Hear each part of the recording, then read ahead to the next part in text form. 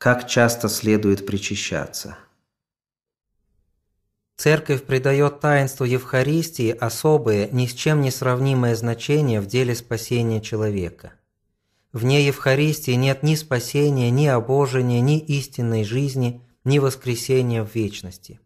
Если не будете есть плоти Сына Человеческого и пить крови Его, то не будете иметь в себе жизни, говорит сам Христос в Евангелии от Иоанна. Ядущий мою плоть и пьющий мою кровь имеет жизнь вечную, и я воскрешу его в последний день. Поэтому святые отцы советовали христианам никогда не уклоняться от Евхаристии и причащаться насколько возможно часто.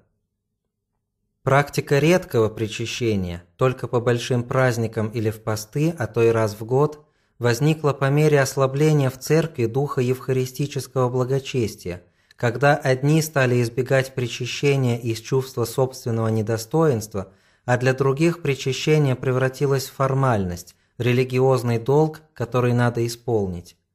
В России в послепетровскую эпоху было принято причащаться раз в год. Вопрос о том, как часто необходимо причащаться, широко обсуждался в России начала XX века, когда шла подготовка к поместному собору Русской Православной Церкви. Было рекомендовано вернуться к первохристианской практике причащения в каждый воскресный день.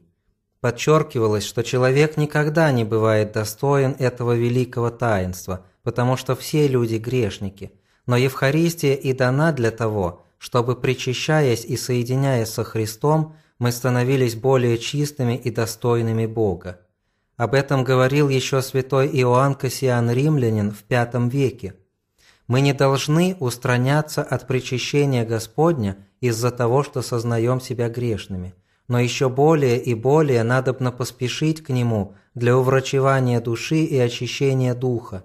Однако же с таким смирением духа и веры, чтобы, считая себя недостойными принятия такой благодати, мы желали более уврачевания наших ран. А иначе и однажды в год нельзя достойно принимать причащение, как некоторые делают, оценивая достоинство, освящение и благотворность небесных тайн, так что думают – будто принимать их должны только святые и непорочные, а лучше бы думать, что эти таинства сообщением благодати делают нас чистыми и святыми. Они подлинно выказывают больше гордости, нежели смирения, потому что когда принимают их, считают себя достойными принятия их. Гораздо правильнее было бы, если бы мы со смирением сердца – по которому веруем и исповедуем, что мы никогда не можем достойно прикасаться святых тайн, в каждый воскресный день принимали их для врачевания наших недугов, нежели верить, что мы после годичного срока бываем достойны принятия их. Так пишет святой Иоанн Кассиан Римлянин. Если в первые три века после Христа еженедельное, а то и ежедневное причащение было нормой христианской жизни – то это, очевидно, было следствием той напряженности духовного горения, которая наблюдалась в церкви эпохи гонений. Ослабление евхаристического сознания непосредственным образом связано с общим понижением уровня духовной жизни в последующие века.